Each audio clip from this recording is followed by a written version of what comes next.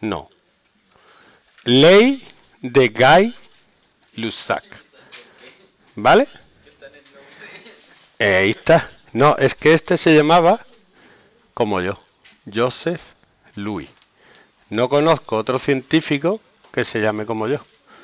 Sí que es mi ley favorita. ¿Qué pasa? Era uno nada más, que tenía un apellido compuesto. ¿Vale? Joseph Louis Gay-Lussac. La ley de Gay-Lussac relaciona la presión con la temperatura y dice que la presión y la temperatura son directamente proporcionales. A más presión, más temperatura. Y a más temperatura, más presión. ¿Por qué? Porque si yo caliento el gas dentro de un recipiente, lo que hago al calentarlo es subir la velocidad con la que se mueven las bolitas de gas. Y al subir la velocidad, golpean con más fuerza contra las paredes. Y eso se detecta a nivel macroscópico como un aumento de presión, por ejemplo, en la rueda. ¿Vale? Cuando dos magnitudes son directamente proporcionales, la división de las dos es constante. Entonces, si yo te digo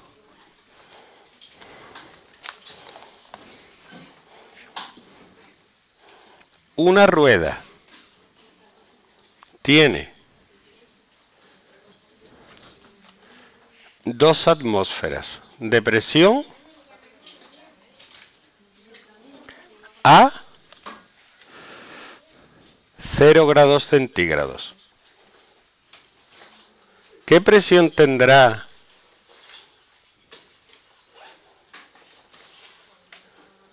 a 30 grados centígrados? Vamos a ver, la temperatura nunca se puede poner en grados centígrados. Sí. Entonces, aquí la presión 1 es 2. El volumen, digo la temperatura 1, es 0 grados centígrados, que son 273 Kelvin. La presión 2 no la sé.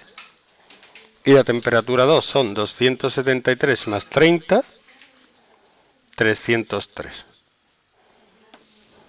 aplicando la fórmula. 2 partido 273 es igual a x partido. 303 y despejando la x me queda. 303 por 2 partido 273 que es ¿cómo?